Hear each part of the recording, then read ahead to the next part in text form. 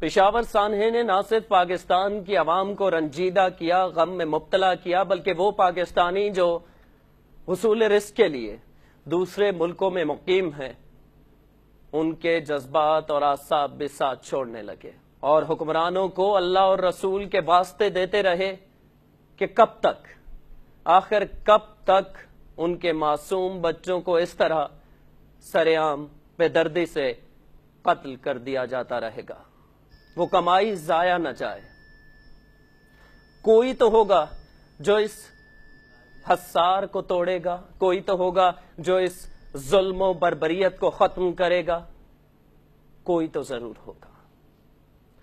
بقول احمد فراز، میں کٹ گروں یا سلامت رہوں، یقین ہے مجھے کہ یہ حسار ستم کوئی تو گرائے گا۔